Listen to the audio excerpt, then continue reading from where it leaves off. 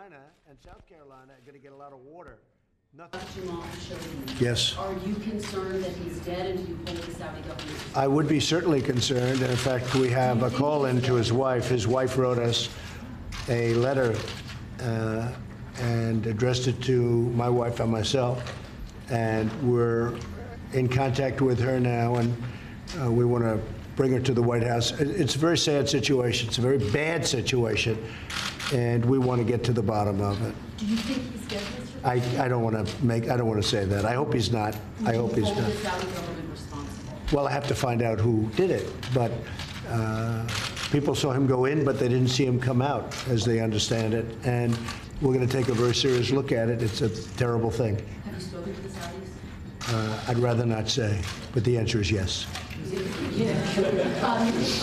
I'd rather not say, but at a very high level, the highest level. Let's say, let me say this, it's the highest level, okay? Uh, Yeah, You mentioned that you talked to. more than, King and Sal- more than once. You had mentioned that you spoke to King Salman, so, I mean. the Well, I highest do anyway, and uh, I've always found him to be a fine man. We've had a very good relationship. I'm not happy about this. We have to see what, what happens, you know.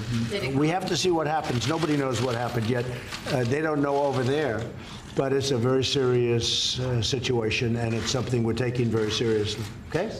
I had a long talk with uh, Rick Scott, Governor Scott of Florida, very well coordinated with all of the states. Give a message to the Saudi government, are you demanding information? Yeah, we are. We're demanding everything. We want to see what's going on here. That's a bad situation. And frankly, the fact that it's a reporter, uh, you could say in many respects it makes it, it brings it to a level. Uh, it's, it's a very serious situation for us and for this White House. We do not like seeing what's going on. Now, as you know, they're saying we had nothing to do with it. But so far, everyone's saying they had nothing to do with it. And it's inside of Turkey. And the Turkish government is working very strongly so far, so we'll see what happens. Sounds like you don't buy their denials. Uh, Well, I want to see what happens, and uh, we're working very closely with Turkey, uh, and I think we'll get to the bottom of it. Thank you all very much. Thank you. Thank you.